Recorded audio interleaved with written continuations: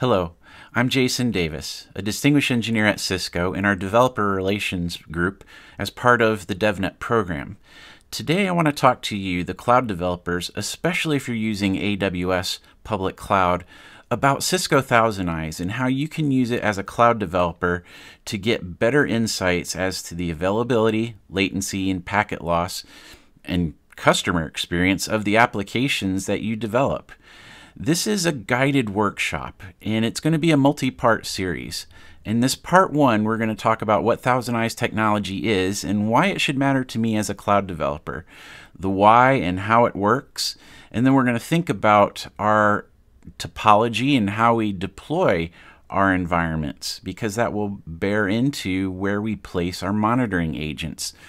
We'll learn how to procure the AWS Marketplace license for Thousand Eyes and then we'll deploy the software agents using AWS CloudFormation.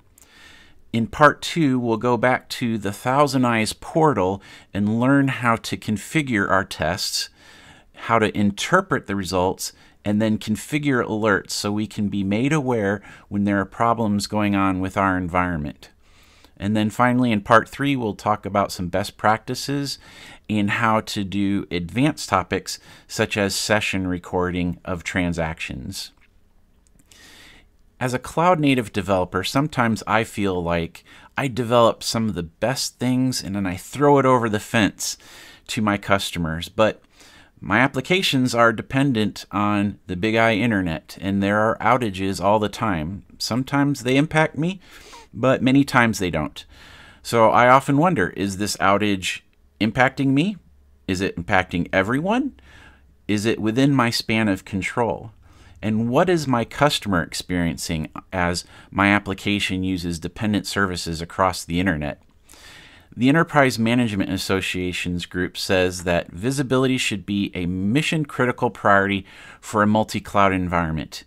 You may not own the networks or the infrastructure, but you still own the outcome. And if your customers are unhappy, that could hurt your brand. So the situation is that we have a visibility gap. We have employees at home, they could be at a branch or a larger office. And sometimes in those environments, we have good visibility into what's going on.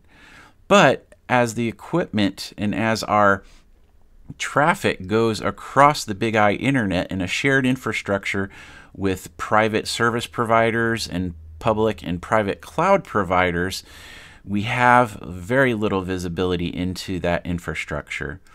And then we also have SaaS dependencies. And as a developer, you're probably using GitHub and Docker Hub and Jira and many others. Well, we know that those solutions we don't own the infrastructure and we have limited visibility. So to help that, Cisco Thousand Eyes is a network intelligence SaaS platform, and it gives you the ability to run a variety of tests against global vantage points, and we can monitor really important services like DNS for name resolution. So, not everybody uses IP addresses when they're browsing the internet probably nobody does. Everybody uses a host name or a service name to access something. And those names get resolved to IP addresses that the network can route the traffic with. Well, we want to make sure that our name resolution is good. If you've registered a do domain name, have you expired that registration and lost it? That's happened before and uh, you don't want that to happen. You don't want to lose your precious domain name. We also need to understand the customer's responsiveness in their browser to our app. So, how does that look when they are hitting multiple microservices around the environment? We have to think about the network pathing and connectivity if we have disparate services across the continent or even across the oceans. That could play into how our customers feel about our applications. And then voice and video streaming, if our apps are involving that, the connection quality plays a big part, whether it's buffering or losing packets and being very jerky. When we think about availability, latency, and packet loss measurements, there are a couple models. There's active measurements that would involve extracting telemetry from actual user traffic embedded in the routers and switches.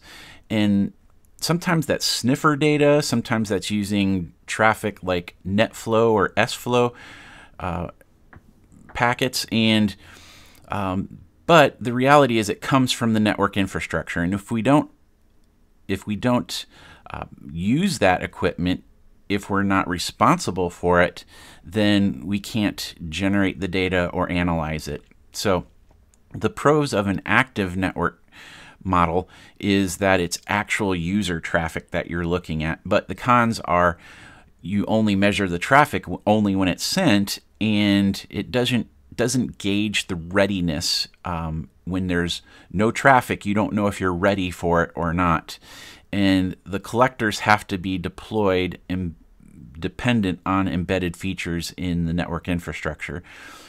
Synthetic model is a slightly different. These are purpose-built collectors that simulate the user traffic, and the data would originate from software agents, and they can be on just about anything, including the network infrastructure.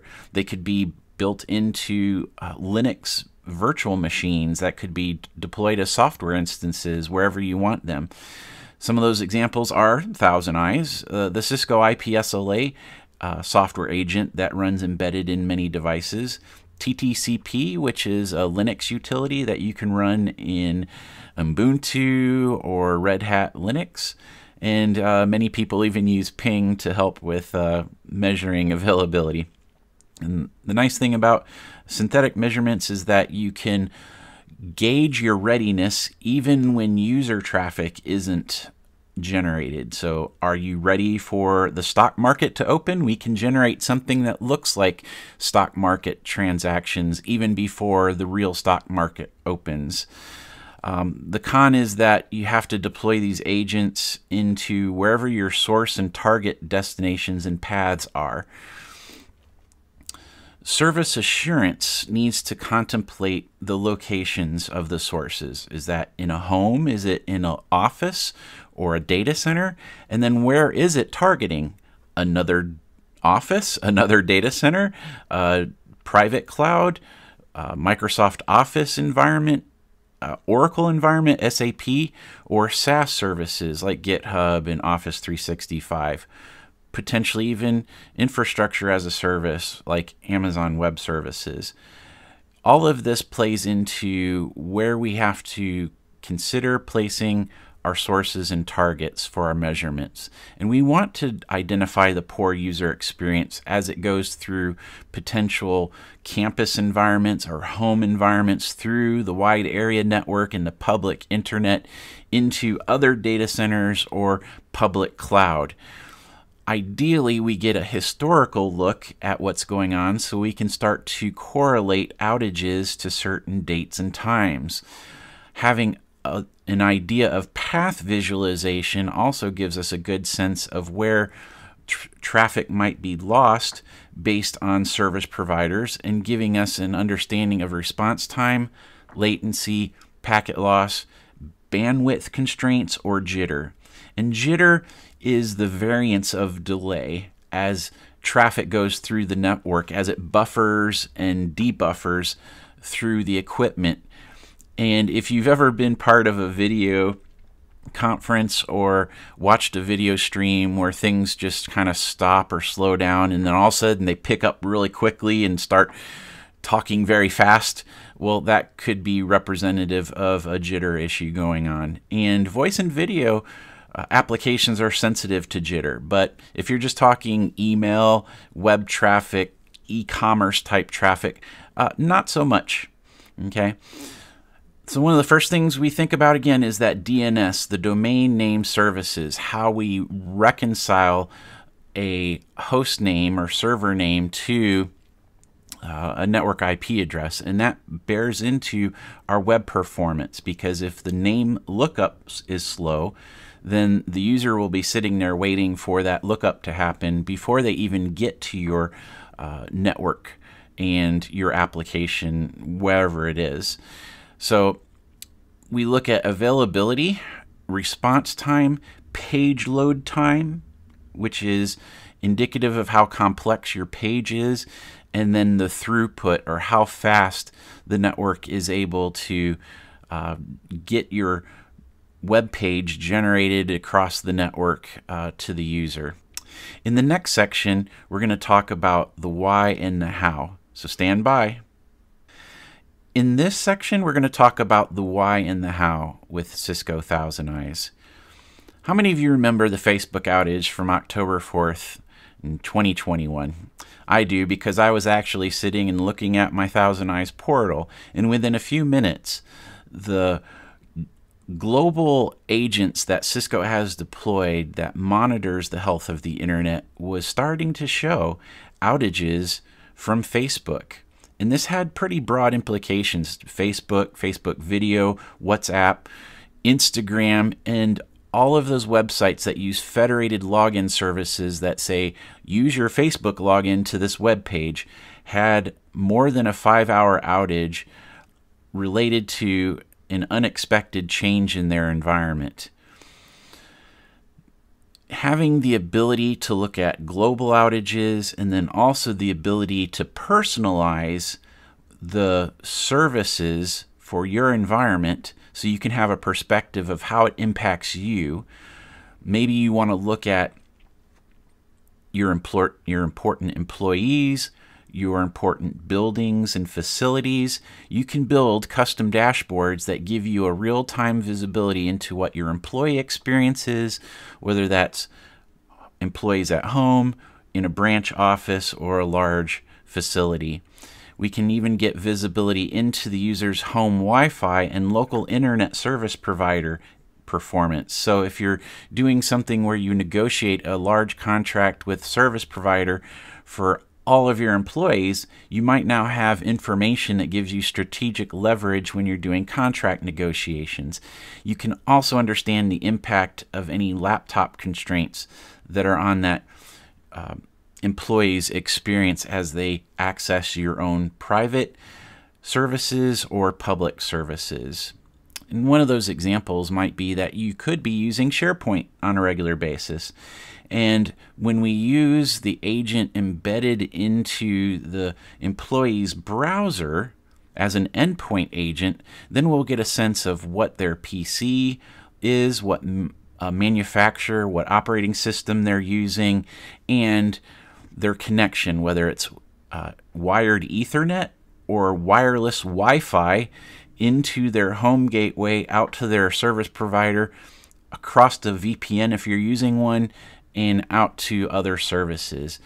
And we'll start to measure their experience to identified websites and resources that you provide. Now, Thousand Eyes has several different test types, and they can be used for a lot of different parts of network monitoring. Some of them are useful to you as a cloud developer. Some of them are probably more useful to your infrastructure uh, support teams and SRE folks. So BGP tests would be something that your infrastructure folks are really interested in. But as a cloud developer, you would like to look at the agent to agent tests, the agent to server tests, the DNS server tests, and the web or HTTP server tests. If you're doing something that's e-commerce related or web server related, then you probably also want to consider using page load and transaction tests. And the transaction tests we'll talk about in part three in our advanced topics. It's important to note that we bundle some of these tests into very convenient categories so you don't have to create multiple types of tests, you can say, I want to do a page load test. And the page load test would include web server, network test, and BGP monitoring. We can see that the transaction test would include page load, web server, network testing, and BGP monitoring. If our application involved some kind of video or voice type transaction, then if we did the voice test, we would include SIP and RTP, network, and BGP. And these would just happen by virtue of defining the test that we want. So don't double up. Try to use the tests in a layered way because you'll get the best benefit of information in a bundled test. Now, what are the agents? I've mentioned these a few times. So there are cloud agents that Cisco manages, and we've located these at over 400 service provider network locations. You don't have to manage these. Cisco is responsible for the deployment, the licensing, the uh, the maintenance of them and, and software updates, but you have them available for your own use. The pros of these are that they're quickly used and you don't have to do the maintenance of them. The cons are that uh, you can't redeploy them from where they are. They are fixed in their location, so the perspective of source to target is starting at those cloud agents to wherever you target and that may be helpful to you. Or you may find that you want a little bit more flexibility and want to deploy enterprise agents on your own. And an enterprise agent is deployed by you, which gives you the ultimate flexibility of placing them anywhere you want. They can be deployed as AWS EC2 instances through CloudFormation, and we'll talk about that. You can deploy them in your own private cloud or data center using VMware or Hyper-V virtualization technologies. You can deploy it as a Docker appliance, a Linux package on Ubuntu or Red Hat. Uh, you can even put it in a Raspberry Pi uh, or Intel NUC as software agents running on those uh, little single board computer systems. And it's also embedded in some network infrastructure devices like the Cisco Catalyst uh, 9300 can run it as a Docker container. Endpoint agents are a bit different. These are browser plugins and you define specifically what websites and services you want to be monitored. This is not an overly permissive collector. It's not looking at everything the customer or your employee can um, access through their browser. But if you say, I want to monitor my employees' ab ability to get to GitHub, then you would define GitHub as a monitored endpoint. And once they access uh, GitHub, we would start collecting their transaction information. Again, these cloud agents are all over the world. 195 cities in 61 countries, including Hawaii and New Zealand, because internet goes there. Uh, these are really good opportunities for you to get a global perspective because your customers may be anywhere in the world. If you're focused in a certain region, then we have these uh, cloud agents, and you can identify certain cities.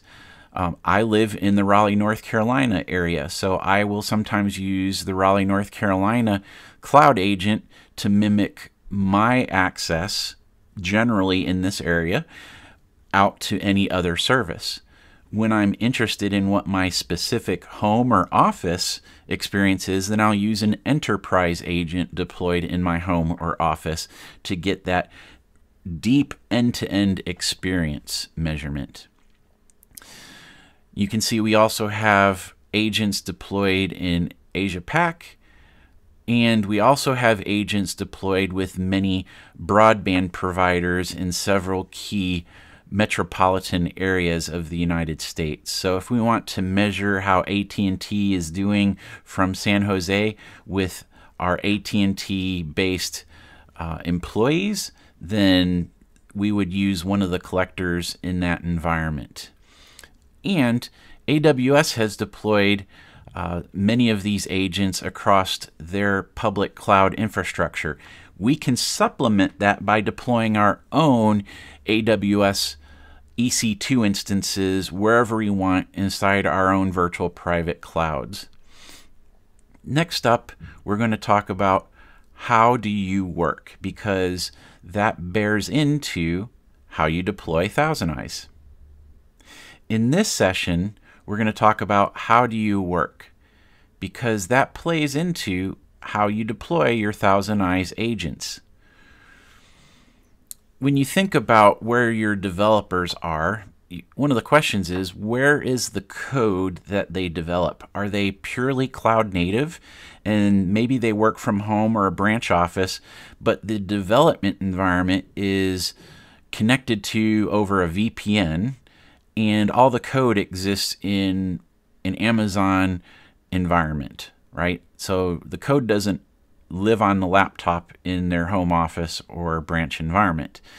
And as they write their code in that Amazon environment, it may access other dependent services in other AWS regions or SaaS services like GitHub and Docker Hub in other environments.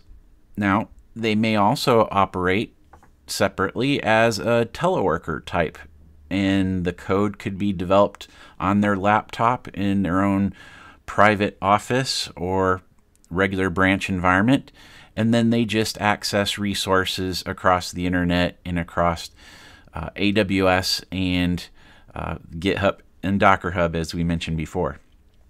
Or maybe your environment is more hybrid and there's some amount of code that's developed at home, there's some code that's developed and maintained in private data center and cloud, or even public.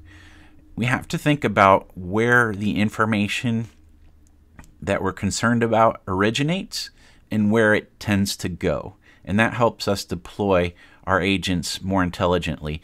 So I've created this example, and we're going to talk about Graciana, or Grace to her coworkers. She's an application developer in Portugal, and she remotely accesses her company's development resources, and those are in AWS region US West 1. She is fitting that cloud native model because she accesses other SaaS services for development and production support she doesn't maintain her code in her home office in Portugal. Her supervisor and project managers are interested in how her experience is from Amadora, Portugal to her company's development environment. Again, this is in US West 1. So we want to know what that looks like because we're going across the North Atlantic Ocean. They want to know how her development experience will be and how it goes to the other development SaaS resources like an AWS RDS database Aurora instance in US East 1 and how her development experience goes to GitHub, Jira, and Docker Hub. Finally, we're interested in what her app users' experience is because they're going to be all over the world and her app uses services like that database Aurora instance in US East once, but it also uses Vimeo for video hosting. So we want to understand what her user's experience is getting to those services. So her deployment's going to look like these scenarios. First, we're going to have the Cisco Thousand Eyes endpoint agent embedded into Grace's browser so that she would have a perspective of going from her home and her browser out to those SaaS services that she uses, like GitHub and Docker Hub. Also, we would deploy an enterprise agent from her home as potentially a Linux virtual machine or even one of those Raspberry Pis to make measurements from her home out to the AWS region where her normal work environment is. Secondly, we'll deploy an enterprise agent in AWS as a CloudFormation deployed EC2 instance targeting other SaaS services that she uses. And then, third and finally, cloud agents deployed around the world to represent her user traffic targeting the SaaS endpoints needed by her app. In this session, we're going to talk about how to procure the Thousand Eyes licenses through AWS Marketplace. The first thing we need to do is access our AWS console and then go into the search bar and search for Marketplace. We'll see the services listed and AWS Marketplace subscriptions is where we want to land. When we click that Manage Subscriptions button, then we'll be given an option to go search for Thousand Eyes. we just type in ThousandEyes in the search bar, and it'll come back with a few options. The first one will be Cisco ThousandEyes. We also have some partners that are also offering licenses and managed services through their own private offers, and you may be interested in looking at those. We're going to click on the ThousandEyes option. At this point, we can review the SaaS offer. We can look at the pricing and usage and support information. There's also a product video at the bottom if you're interested in getting other information. Uh, take time to do this if you're interested and then click to subscribe when you're ready to move forward. At this point, we can look at how we want to set up our contract one year long, two or three years long and whether we want it to auto renew at the end of our subscription period. We can set up the number of units in our contract options and then review the total contract price. If you're interested in more information about unit cost and consumption, click on that QR code on the screen here and then we'll be able to see more of that information. Once you've finished identifying how to set up your software contract, you will have that create contract button available. It will become active and then you can click it. Once you click it, you'll have set up your contract. Now, you can continue through that process, but don't be surprised if a Cisco salesperson contacts you to obtain more information about your use case because sometimes we can optimize and lower the cost of what you're trying to do if we understand the use case. So, just a heads up, they may be calling. We're back. Now we're going to talk about deploying the ThousandEyes software enterprise agents and using AWS CloudFormation. The first thing we need to do once our licensing is finished is to access our ThousandEyes portal, and that's at thousandeyes.com. Once you access the portal, click in that login link at the upper right hand corner. You'll see a login screen you may have an environment where you have single sign-on. If so, click that link. But most of us will probably just have, if we're starting from scratch, just a basic user login and password. Once you get into your portal after logging in, you'll see the main dashboard page. It may look a little bit different for you depending on if anybody has changed the layouts because this is this is something you can customize and personalize. We're going to start by clicking on the upper left-hand corner, the Cloud and Enterprise Agents, to go ahead and deploy an agent into AWS. Once you get to this screen, you'll see agent settings. Now, I've already deployed a few agents, and what you're going to do now, because you probably won't see any, is to click on the Add New Enterprise Agent button.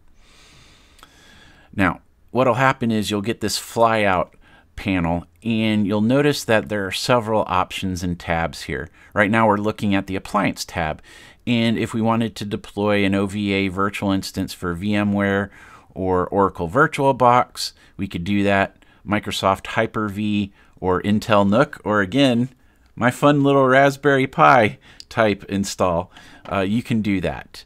Um, there's also options for a Linux package to deploy on Ubuntu or Red Hat, uh, Docker container instances, but we're interested in the infrastructure as uh, service, IaaS marketplace. And when we click that, we're going to see the Amazon Web Services AWS option. We want to copy our account group token. The account group token essentially links um, our agent to our subscription in our profile. So when we copy that into our clipboard, we'll be ready to paste that later on into our AWS um, CloudFormation template. So now we're going to click um, Launch in AWS. We'll get our console login if we haven't already. And this is just our normal um, IAM user login to AWS and we'll land into our AWS CloudFormation. Now, Cisco has provided a template here that's already pre-populated, so that you can use it without having to build your own macros and templates to deploy an EC2 instance. It makes it super simple, so go ahead and use this uh, method. If you want, you can click the View and Designer button, which brings up a uh, graphical workflow representation of what AWS is going to do on the backside to spin up this EC2 instance. And it's going to create that EC2 instance. It's going to apply some security group settings and make sure that it deploys the way that Cisco intended it to in AWS. You can review this if you'd like. It's kind of optional. I think the nerd knobs are kind of neat, but um, you can see what's going to happen on the backside um, behind the scenes when CloudFormation runs. When you're ready, you can click Next. Now you want to give it a stack name and also uh, usually we just give it something meaningful to us.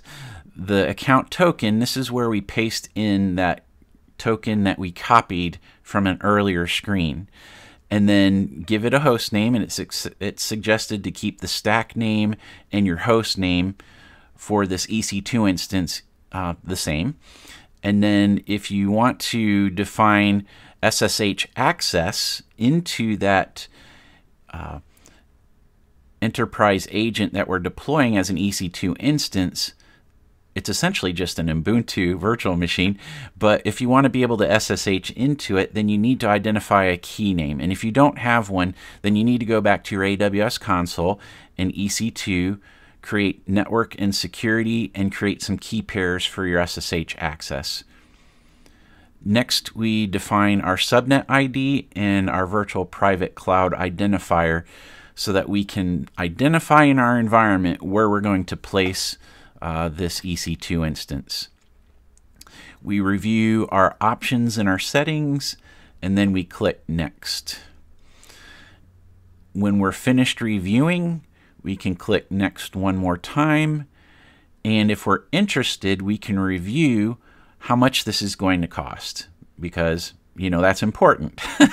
so you can click the Estimate Cost link and it will bring up a monthly calculator for you, and you'll see, depending on what the 24 hour spot costs are um, at that point, uh, how much it's going to cost you on demand to run this EC2 instance. And at this time, what I'm seeing is this uh, ThousandEyes agent is going to deploy a Linux T2 medium instance, and it's going to cost about $34 US per month to run this.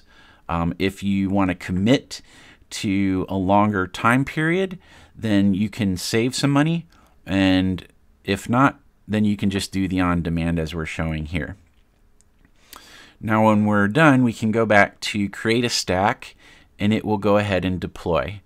And it'll start to show a screen somewhat similar to this. You may need to refresh the screen a few times with the refresh or recycle icon to see if it's created, if it's still in process or not.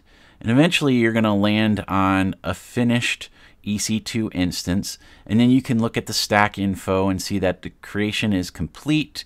You can start to click through the tabs to see what was deployed, your public and private IP addresses, and subnet ID. All the information about your EC2 instance will be here so you can click through, get any network uh, parameter specifics, and make sure you keep track of those things because that's specifically the external IP address is going to be how you get back into that instance if you need to. Finally, when we're interested in understanding what the instance looks like from the ThousandEyes portal, which we'll talk about more detail in the next segment, you'll see that this agent that we deployed was essentially an Ubuntu 1804.5 long-term support release, and the installer was AWS AMI. So we're now confident that this was deployed. We know where it went because of the EC2 parameters, and we're ready to move on to our next segment, which will be deploying the ThousandEyes tests using the ThousandEyes portal. So up next, part two, provisioning ThousandEyes, the agents and tests. Thanks for watching.